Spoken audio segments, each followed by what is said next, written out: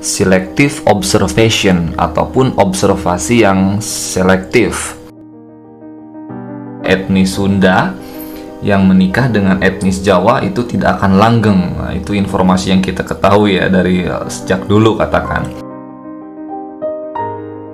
Ternyata setelah dilakukan sebuah riset secara kuantitatif dilakukan survei sebanyak seribu orang dengan etnis Jawa dan Sunda dan sebagai pembanding dengan etnis lain ternyata hasilnya itu berbeda dengan asumsi sebelumnya.